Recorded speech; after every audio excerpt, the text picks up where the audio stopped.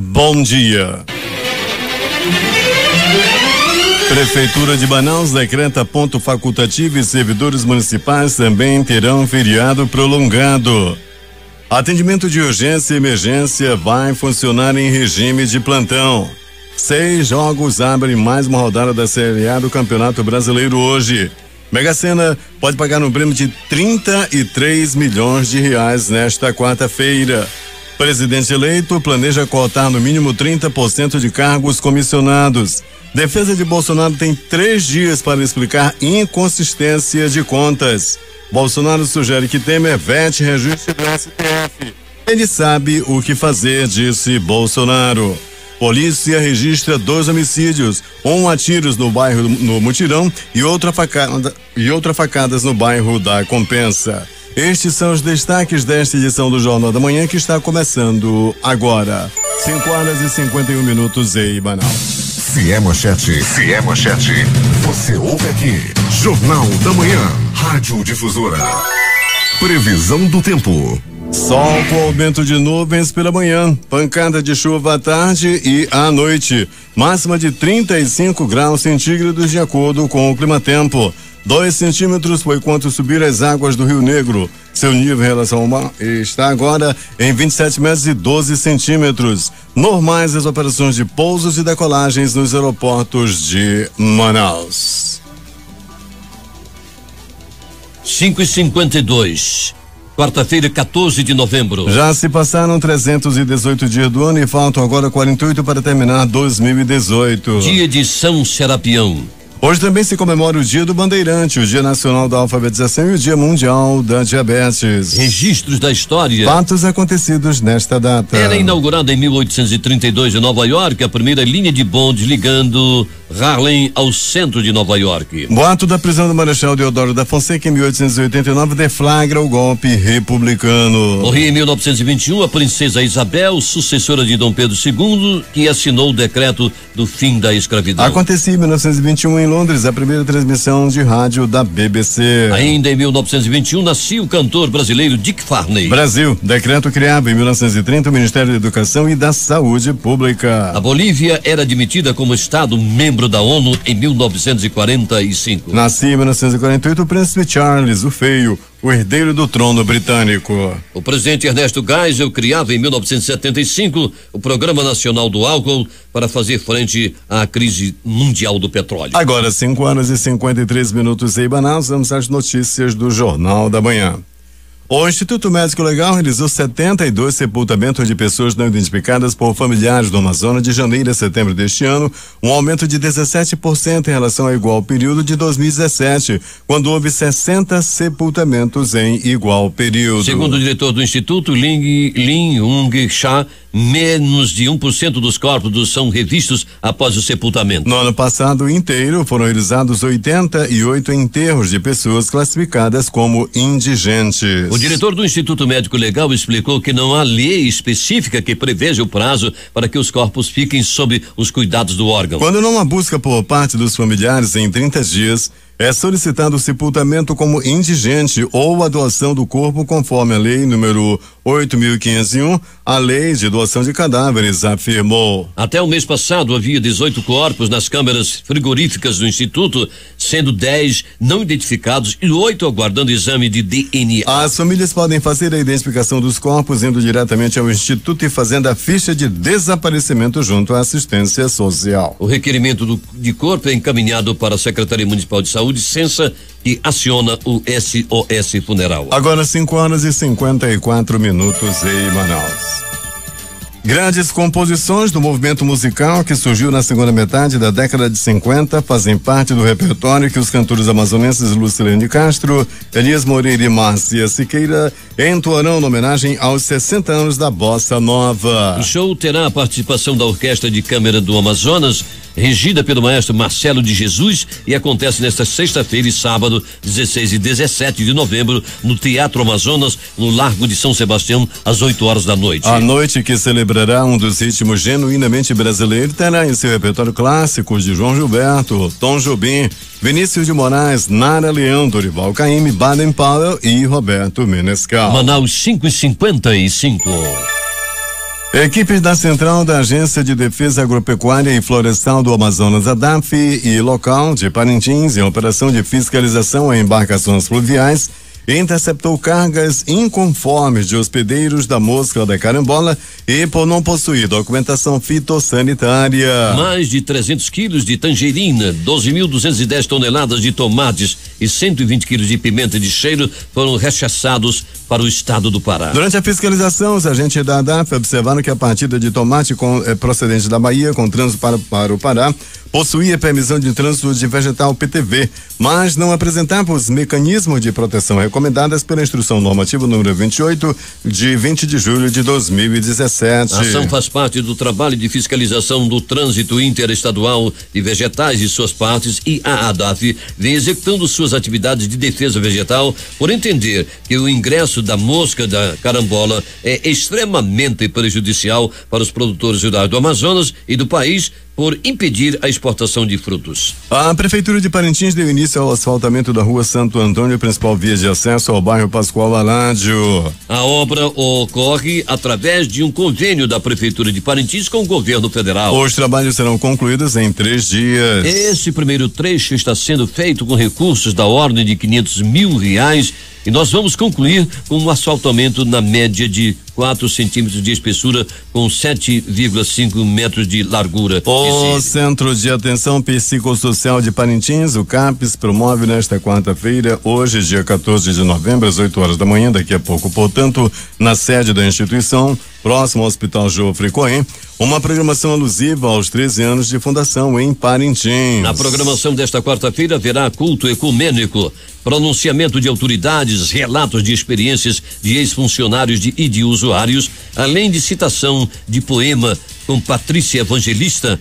café da manhã, entre outros momentos. Após a avaliação do laudo técnico do Serviço Geológico do Brasil, CPIM, sobre as condições de uso da Praia da Ponta Negra, a Prefeitura de Manaus constatou que não vai ser preciso interditar o local. Mesmo assim, orientações e cuidados aos banhistas vão ser reforçados devido ao baixo nível do Rio Negro. O laudo do CPRM apontou uma faixa de segurança para banho de 7 metros a partir da margem. Porém, a Prefeitura diminuiu a área delimitada para banho na praia para 5 metros, garantindo total segurança aos banhistas. Outra medida foi a instalação de novas placas de sinalização para alertar banhistas e usuários quanto às regras de uso, especialmente na área de banho no Rio Negro. Segundo o Instituto Municipal de Planejamento Urbano Implurbe, que gerencia o espaço, todo o efetivo de segurança do local, formado pelo Corpo de Bombeiros, Polícia Militar, Guarda Municipal e demais órgãos que já atuam na Ponta Negra, estão com suas atividades direcionadas para orientar e fiscalizar os banhistas. Segundo informa Cláudio Guenca do Implurbe. O laudo nos dá uma segurança com a cota 17 para que nós tenhamos um limite de 7 metros de distância das boias, para que seja um limite para os banhistas. E é claro, o prefeito Arthur, sempre preocupado com o bem-estar e a segurança da população,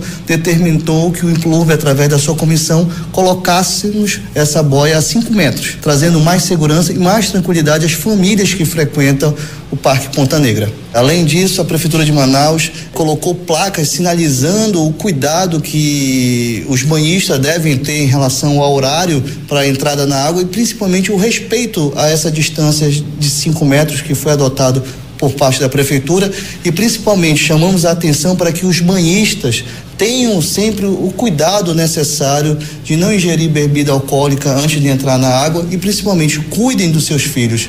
A prefeitura de Manaus, o prefeito Arthur, ele quer o bem-estar e a segurança de todos que frequentam a água da Ponta Negra. A delimitação do banho na praia de Ponta Negra deve permanecer em 5 metros até o final deste ano. Na praia, além do horário de funcionamento indicado para banho até 17 horas até 5 da tarde, a preocupação com as crianças dentro do rio.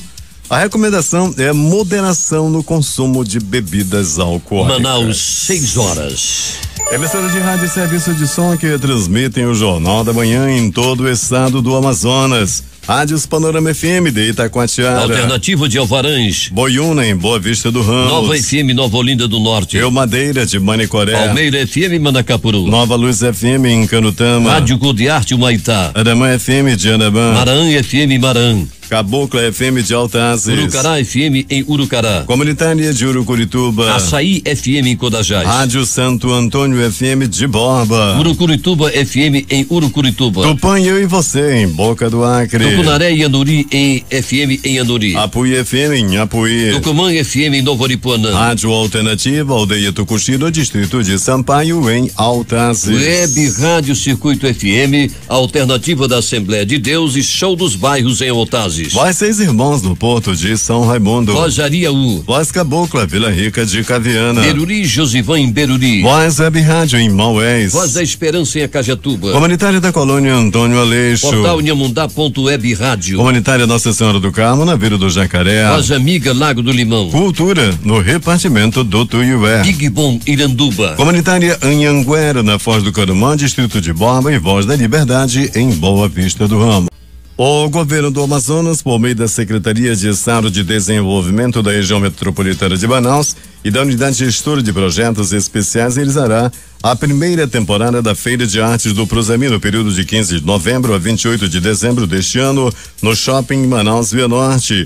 A feira terá como objetivo incentivar os moradores dos parques residenciais à prática do empreendedorismo e promover a geração de renda.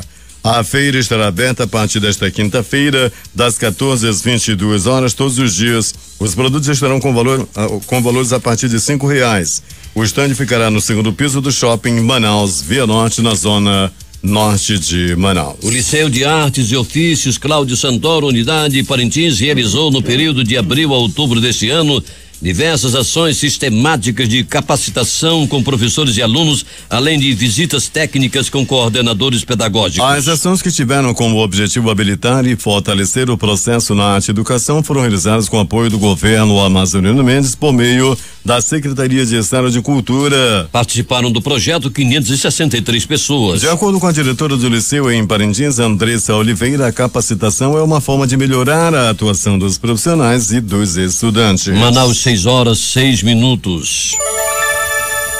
A Praia do Tupé, na zona rural de Manaus, será palco da final da Mostra Cultural São João do Tupé, comunidade distante 25 quilômetros da sede do município. O projeto é a primeira fase do Programa Central de Turismo da, de Base Comunitária, que é desenvolvido pelo Fórum de Turismo de Base Comunitária, com apoio da Prefeitura de Manaus, parceiros e voluntários. A programação iniciará às 9 horas e 30 minutos no Centro de Apoio da Secretaria Municipal do Meio Ambiente. Após dois meses de trabalho, crianças, jovens e adultos da comunidade farão uma exposição com diversas manifestações artísticas contando sobre a sua história e a relação com o Tupé, seus personagens e revelando seus talentos. Durante a programação do evento serão realizados shows, exposições, oficinas e a grande final do concurso. A comunidade São João do Tupé está localizada dentro da Reserva de Desenvolvimento Sustentável do Tupé RDS. Em alusão ao dia 20 de novembro, data de reflexão sobre a consciência negra, a Prefeitura de Manaus, por meio da equipe do Distrito de Saúde Norte da Secretaria Municipal de Saúde, realiza nesta quarta-feira, hoje, portanto, das 8h30 às 12 horas, na UBS Amando Mendes, localizada na rua Aragaça, no Conjunto Manoa, no norte da cidade, a primeira sensibilização para apoiadores institucionais, líderes comunitários e conselheiros de saúde dos Rios da Norte. Com tema Um olhar diferenciado em face à equidade, o evento pretende contribuir no monitoramento e divulgação da Política Nacional de Saúde Integral da População Negra e da Saúde do Homem, fortalecendo o sistema único de saúde SUS. 6 horas oito minutos em Manaus, o Jornal da Manhã para ter Manacapuru com Alberto Zegdeg. Muito bem, Eduardo. A Prefeitura de Manacapuru, por meio de convênio firmado com o governo do estado, iniciou esta semana a construção de uma ponte em alvenaria com mais de 160 metros de comprimento. A obra está sendo realizada na comunidade Campinas do Norte, zona rural do município, para facilitar a vida dos moradores daquela comunidade. Quem conhece Campinas do Norte sabe que a atual ponte de madeira se encontra bastante deteriorada em decorrência do tempo, já que há anos não recebe a devida manutenção e apresenta perigo aos moradores que transitam diariamente no local. A construção da ponte demonstra a preocupação da administração municipal com a segurança dos comunitários e, ao mesmo tempo, a geração de emprego e renda, já que toda a mão de obra utilizada é composta por moradores da comunidade. Só lembrando que desde o ano passado a prefeitura já construiu pontes em alvenaria nas comunidades do Laranjal e Maniquara. Bem, Eduardo, interagindo com nossos ouvintes, queremos agradecer a audiência do senhor Hamilton e Dona Maria e também do senhor Davi e Dona Valdelina, todos no ramal do japonês. De Manacapuru, Zeg para o Jornal da Manhã. Manaus, 6 horas 9 minutos. O prefeito Arthur Neto decretou ponto facultativo para os órgãos e entidades da administração pública municipal nos dias 16 e 19 de novembro, que intercalam os feriados de 15 de novembro, dia da comemoração à proclamação da República e o dia 20 de novembro, feriado municipal em homenagem ao Dia Nacional da Consciência Negra. Nesse período de recesso, apenas os serviços essenciais do município serão garantidos e as demais atividades retornam à normalidade a partir da próxima quarta-feira, dia 21. A Secretaria Municipal de Saúde e Ciência informa que o funcionamento dos serviços em suas unidades terá alterações nos pontos facultativos e nos feriados, preservando os atendimentos de urgência e emergência, como o SAMU 192 Manaus, que irá manter, que irá manter o plantão 24 horas atendendo as chamadas telefônicas de urgência pelo número 192. A maternidade Moura Tapajós, localizada na Avenida Brasil, Compensa, Zona Oeste, também estará aberta 24 horas e haverá atendimento normal na sala de imunização da UBS José Raio dos Santos para vacinação antirrábica humana de, das 8 às 12 horas. Já as unidades básicas de saúde, policlínicas, centro de especialidades odontológicas, laboratórios, farmácias gratuitas e centro de atenção psicossocial suspendem as atividades a partir desta quinta-feira, dia 15 amanhã, retornando na próxima quarta-feira, dia 21. Os serviços da Secretaria Municipal de Limpeza Urbana, CEMUSP, eh, funcionam nos feriados do dia 15 e 20 em ritmo de plantão e funcionam normalmente durante a sexta-feira, sábado e segunda-feira. No domingo, coleta e limpeza urbana funcionam em ritmo de plantão. Os últimos três meses têm sido difícil para os terceirizados que prestam serviço na área da saúde do Estado. E deputados da Assembleia debateram sobre essa situação no Parlamento do Legislativo. Confira a reportagem de Felipe Augusto. Pagamentos atrasados dos terceirizados da saúde do estado e a morte de três mulheres após parto em menos de três meses no Hospital Regional de Novo Aripuanã foram as principais pautas da sessão plenária da Assembleia Legislativa desta terça-feira. Os parlamentares cobraram uma explicação do governo do estado para saber por que os terceirizados ainda não foram pagos, sendo que prestam um serviço essencial. Para o deputado Josué Neto, esse tipo de situação situação é grave, pois impacta diretamente na vida da população, causando mortes no interior e capital. Josué disse ainda que o município de Novo Ariponã vive o descaso e que uma intervenção urgente da Secretaria de Saúde do Estado é necessária para evitar mortes semelhantes à das três mulheres. Nós estamos aqui hoje não só para falar eh, dessas mortes que estão acontecendo em Novo Ariponã, mas também eh, tentando e, e fazendo com que nesta, desta casa saia a solução para que é, parte desses pagamentos sejam realizados ainda este ano. Os profissionais, médicos, as cooperativas, os terceirizados estão há mais de três meses sem receber seus pagamentos. E o que é pior é que existe a expectativa de não receberem nesse mês de novembro e também não receberem no mês de dezembro. Ou seja, nós estamos aqui na Assembleia Legislativa, os 24 deputados, tratando esse tema com muita responsabilidade. Espero que daqui saia uma solução e que nós possamos dar essa resposta não somente a esses, profissionais, porque aqui a gente não está tratando apenas do pagamento, a gente está tratando do reflexo da falta de pagamento que atinge diretamente a população. Segundo o parlamentar, a solução mais viável é o corte de gastos de outras áreas e a transferência urgente de recursos para a área da saúde. Felipe Augusto para o Jornal da Manhã. Manaus, 6 horas 13 minutos. A usina Chaminé celebra o aniversário de 16 anos como centro cultural com uma programação especial que acontecerá das 9 às 16 horas. O evento realizado pelo governo Amazonino Mendes por meio da Secretaria de Estado de Cultura SEC tem acesso gratuito. Dando início às comemorações a partir das 9 horas na sala de cinema Luiz Miranda de Correia, será exibido vídeo que mostra a inauguração da usina Chaminé depois da reforma realizada no prédio em 14 de novembro de 2002. Às 10 horas será a vez do balé folclórico do Amazonas apresentar o espetáculo Amazônia. A Secretaria de Estado Estado do Trabalho, Citrab, está com 24 vagas de emprego para trabalhadores com ensino fundamental e médio. As vagas são para agente de socialização, 10 vagas. Auxiliar de cozinha, duas vagas. Auxiliar de limpeza, duas vagas. Copeiro, duas vagas. Costureiro, uma vaga.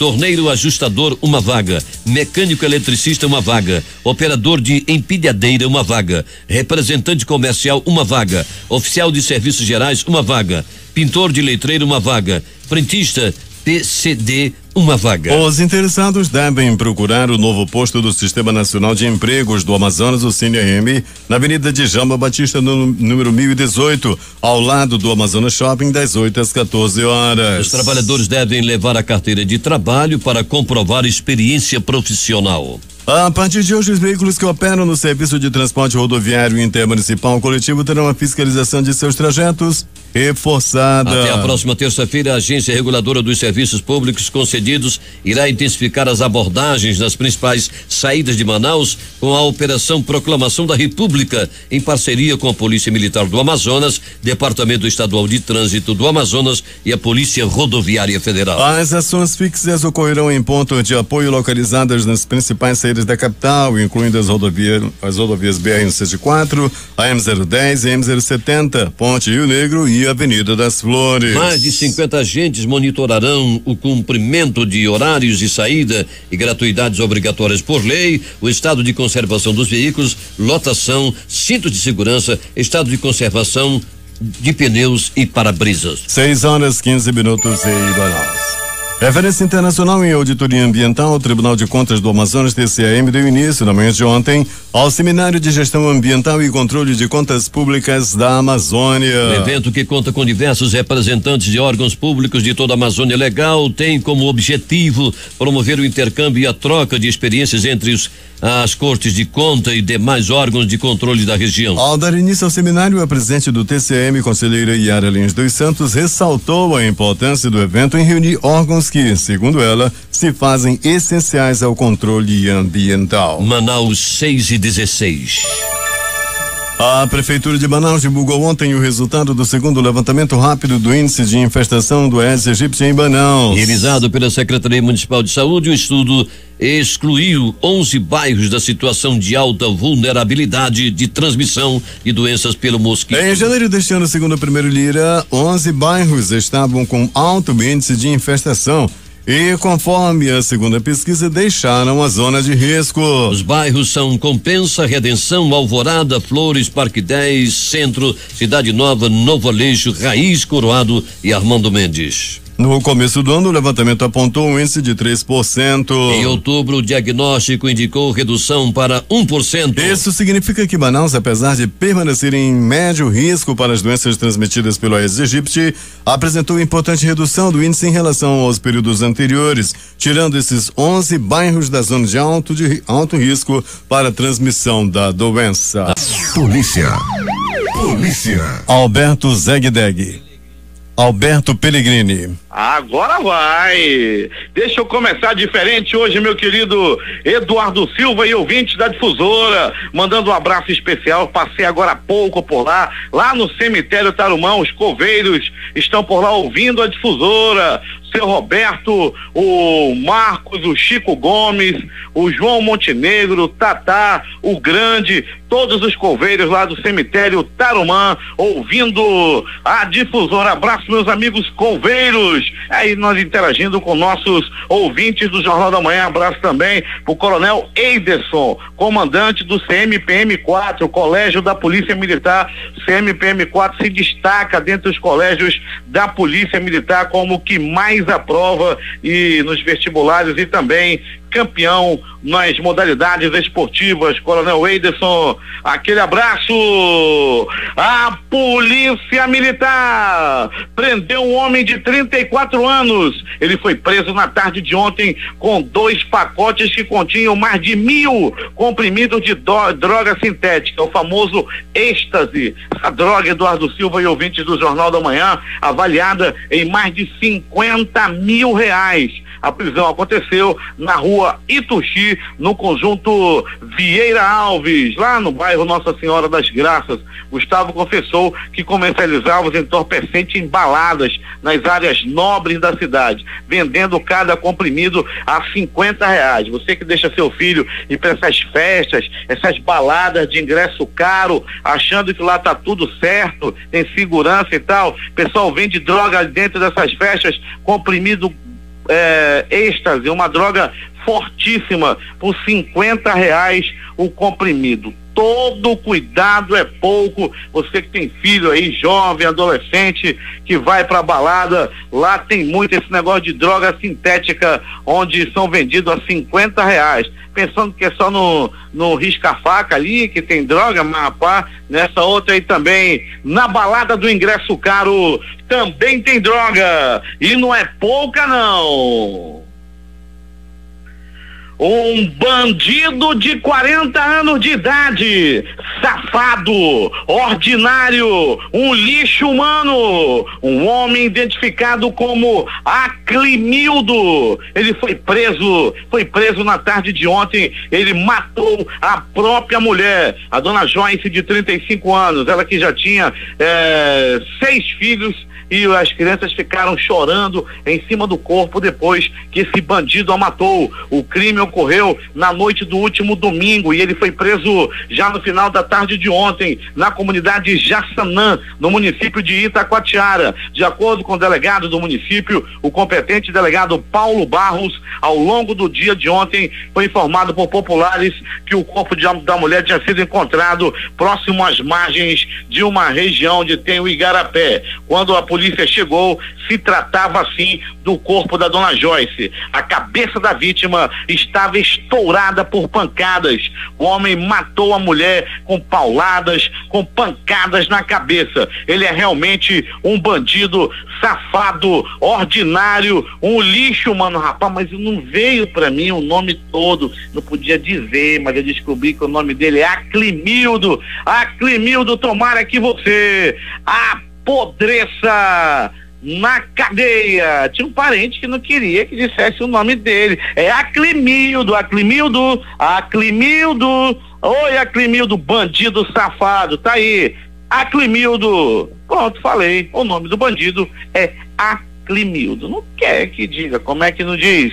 Aclimildo, bandido safado assassino da pior espécie. Mas Eduardo Silva e ouvintes do Jornal da Manhã, a polícia militar nas ruas, muita droga apreendida. A polícia apreendeu com uma mulher um, uma boa quantidade em droga. A Loiane da Cruz Mota, de 24 anos, foi presa com 29 pedras médias de óxido na casa dela, na rua Cap Tupiriba, no bairro Parque das Nações. É até uma bela bandida, mas se meteu com o que não deve.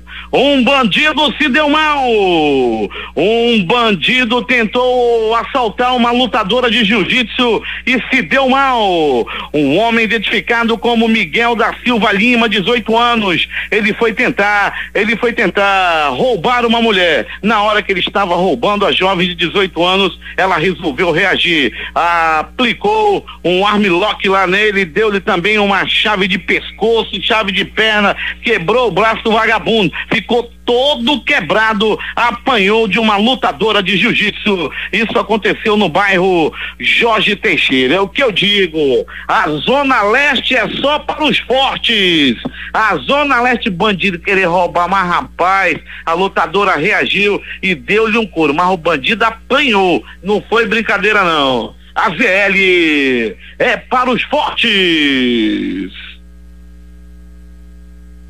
Um homem conhecido apenas como Hamilton. O Hamilton apanhou e apanhou muito. Ele foi barbaramente agredido pela sua amada esposa. As informações dão conta de que ele, Hamilton, estava de camaradagem com uma outra mulher. A esposa dele descobriu e deu-lhe um couro nesse homem conhecido apenas como Hamilton. Não temos o sobrenome dele. O fato deu-se na área do bairro Novo Aleixo. O Hamilton, che quando chegou no trabalho, disse aos amigos amigos que caiu do ônibus. Mas, rapaz, como é que cai do ônibus? Apanhou, pegou uma pisa da sua amada esposa. Com vergonha, ele disse que, que caiu do ônibus. Agora ele anda pianinho. Há quem diga, inclusive, que agora ele anda nos caminhos do Senhor. Após a pisa, ele se converteu e agora, né, depois que ele deu, saiu do pronto socorro, já saiu um homem novo. Falando em pronto socorro, pronto socorro 28 de agosto, movimentação tranquila durante toda a noite e madrugada. As informações dão conta de que apenas duas pessoas deram entrada naquela unidade de saúde durante a noite e madrugada no pronto socorro João Lúcio, no gigante da zona leste da cidade.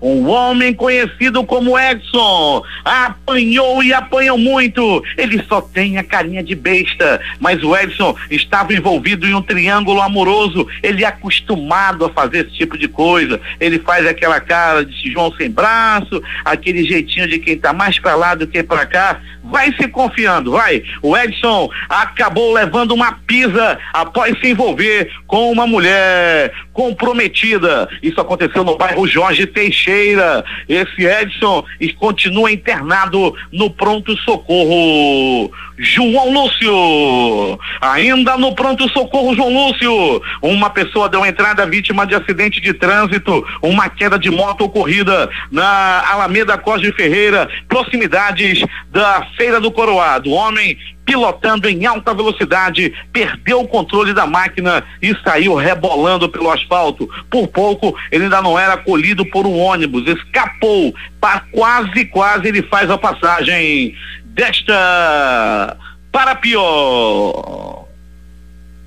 Um sonho um sonho que terminou como um pesadelo. Um homem na noite passada dormia ao lado de sua esposa. De repente, ele sonhou que estava sendo traído. Isso aconteceu lá no bairro do Crespo. De repente, ele sonhou que sua amada esposa, uma frequentadora eh, de academia, uma bela senhora, inclusive, no sonho dele, ela estava nos braços de um outro homem. Ele acordou, ele acordou passando mal e deu entrada agora há pouco no pronto socorro João Lúcio. Chamou a atenção pelo motivo pelo qual ele passou mal. Muita gente comentando ainda há pouco ali na saída, ali nos taxistas, as pessoas que estavam esperando notícias de parentes, todo mundo comentava a situação desse homem que passou mal, ele deu um passamento por pouco no parte dessa para pior por causa de um pesadelo, mas também, né, um pesadelo desse, Deus me livre e guarde.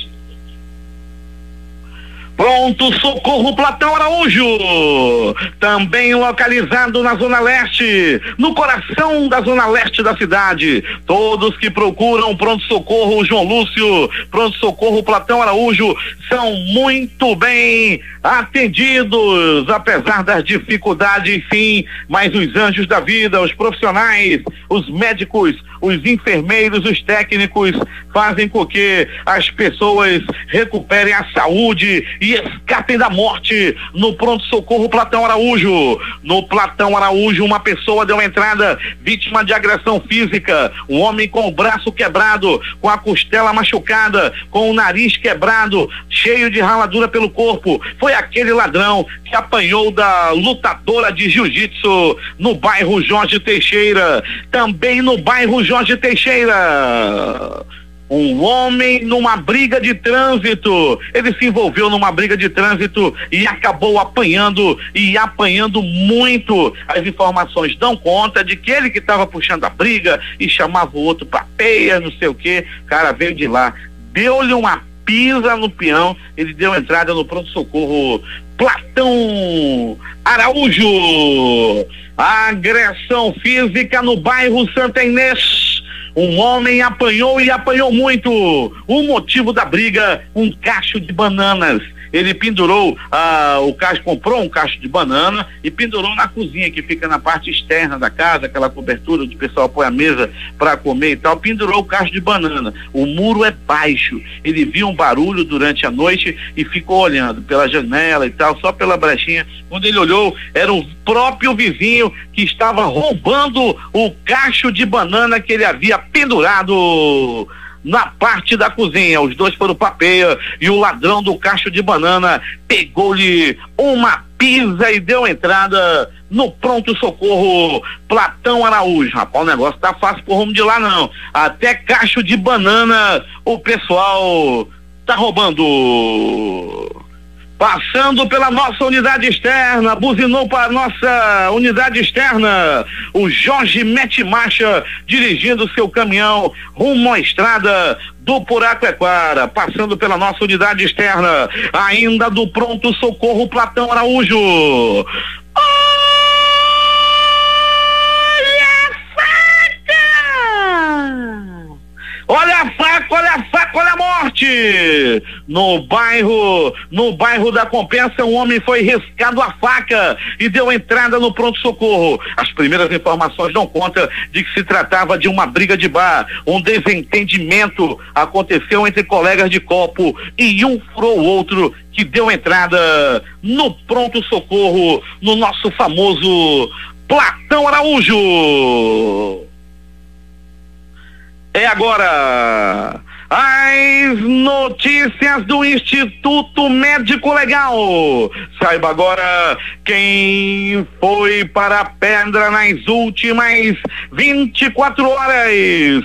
E atenção! E atenção! Mais uma morte no complexo do Mutirão. O complexo Mutirão que, a, que, a, que abrange o bairro Novo Aleixo, o bairro Amazonino Mendes, o conjunto Amadeu Botelho faz parte do mutirão. Tem gente que é lá da Amadeu Botelho, olha, não fala que o Amadeu Botelho é mutirão. Como é que não é? Quem mora no Amadeu Botelho também mora no mutirão. E foi no complexo do mutirão que a noite de ontem um homem foi barbaramente assassinado com um, dois, três, quatro balaços pelo corpo. O crime aconteceu naquela rua onde muitos conhecem, atrás do Bar Natureza, paralelo ali à Avenida Grande Circular, onde tem aqueles bares que funcionam 24 horas, onde a cachaça e a droga reina. E na noite de ontem, mais uma pessoa morreu e foi na base do tiro e foi na base do balaço.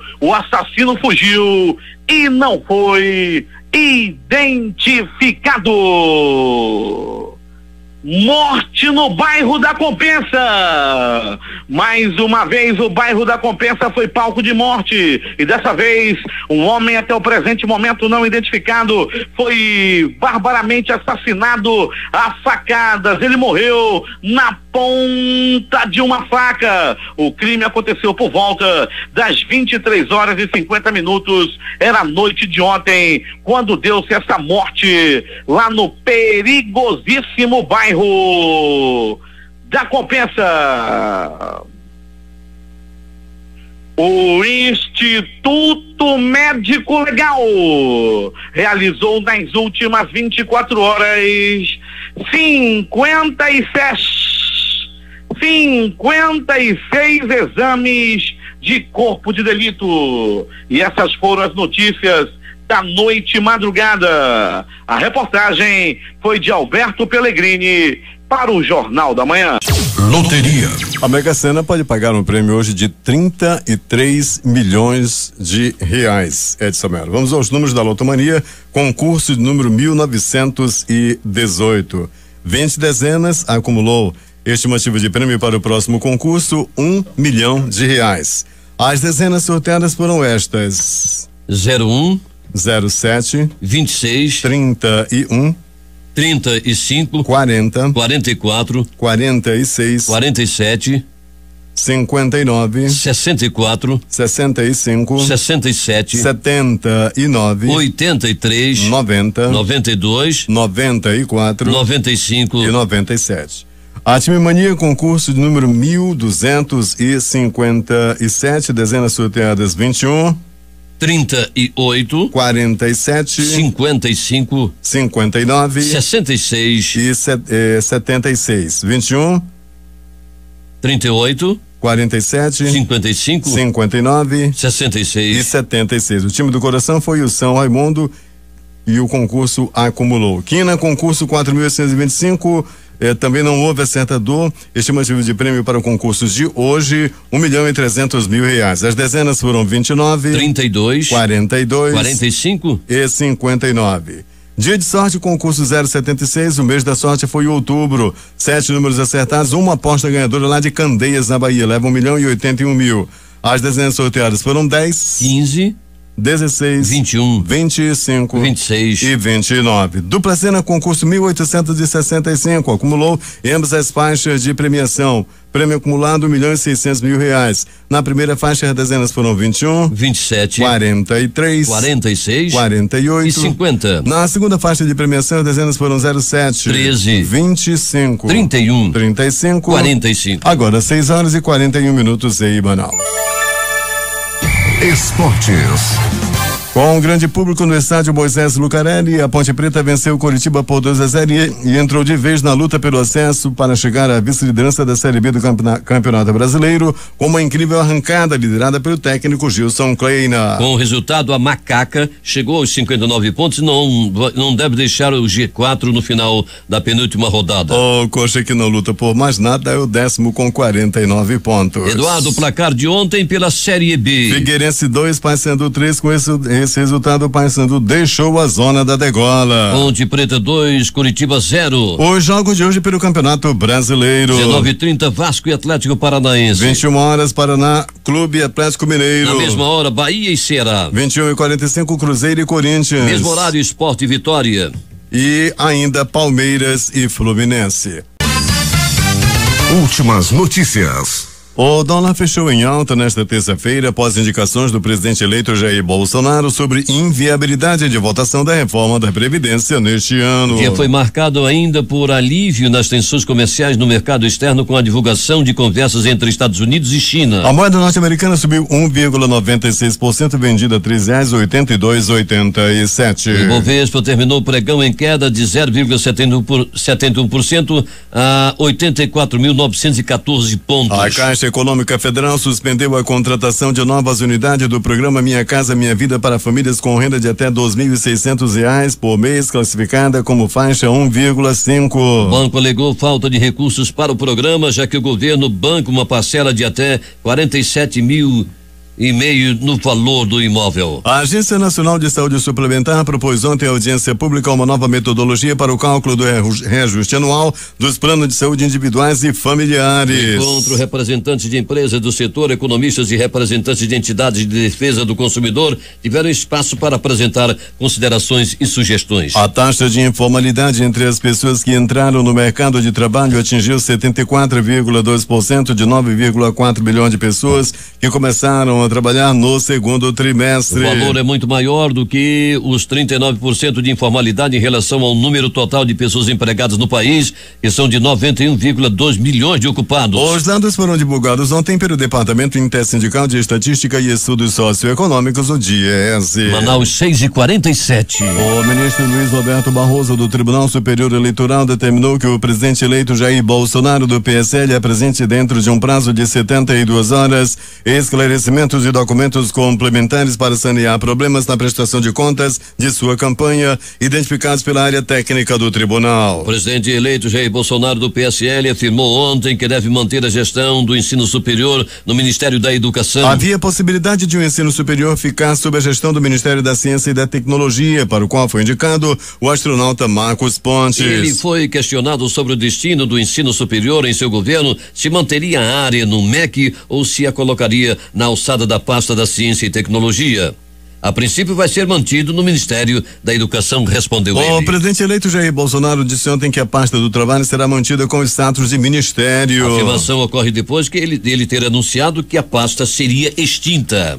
Futura ministra da Agricultura, a deputada federal Tereza Cristina do Dentro do Mato Grosso do Sul, afirmou ontem que sua pasta deverá incorporar o setor de pesca e as políticas relacionadas à agricultura familiar e reforma agrária. Atualmente, essas estruturas estão sob duas secretarias especiais vinculadas diretamente ao Palácio do Planalto, mas sem status de ministério. O presidente eleito Jair Bolsonaro disse ontem durante a entrevista coletiva no Superior Tribunal Militar que pretende reduzir em 30% o número de servidores comissionados no executivo. No mínimo mínimo 30% a gente vai cortar, no mínimo. Ele afirmou ontem que o presidente Michel Temer sabe o que, o que fazer em relação ao reajuste do salário dos ministros do Supremo Tribunal Federal, STF, e a Procuradoria-Geral da República. Anteriormente, Bolsonaro disse que se ele fosse o presidente da República, vetaria o reajuste. Bolsonaro lembrou que Temer tem prazo para definir a questão e indicou que não fará qualquer tipo de apelo ao presidente Temer. Manaus 6 e 49. O ex-presidente da República, Luiz Inácio Lula da Silva do PT será interrogado em Curitiba nesta quarta-feira. A audiência referente a um processo da Operação Lava Jato está marcada para as 14 horas no prédio da Justiça Federal. O gabarito oficial do Exame Nacional do Ensino Médio Enem 2018 será divulgado nesta quarta-feira pelo Instituto Nacional de Estudos e Pesquisas Educacionais, Anísio Teixeira, o INEP. Dezenas de imigrantes centro-americanos chegaram nesta terça-feira à fronteira México-Estados Unidos, escalaram a cerca que divide ambos os países em uma espécie de primeira etapa do seu objetivo final de entrar no território americano. As autoridades americanas informaram ontem que encontraram outros seis corpos no gigantesco incêndio que queima desde a quinta-feira, dia 8, no norte da Califórnia, o que aumentou o número total de mortos nos dois grandes incêndios ativos no estado para 50.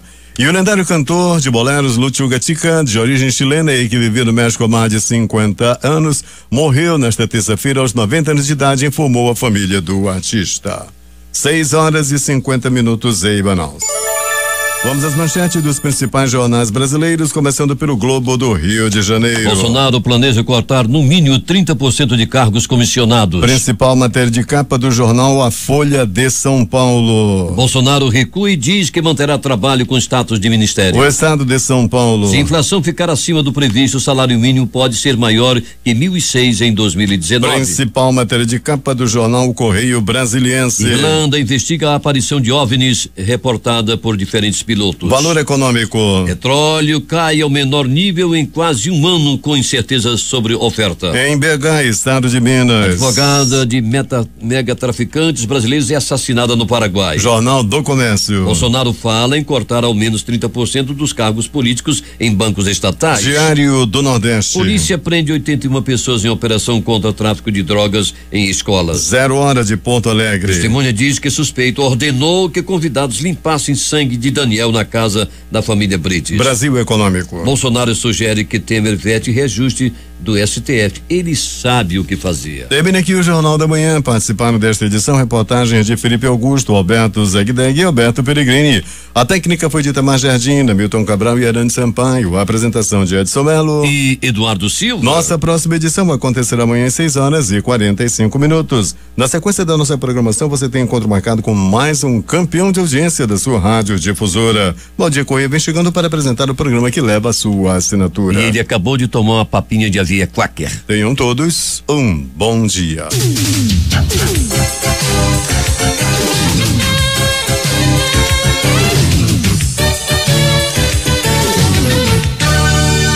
Hora certa.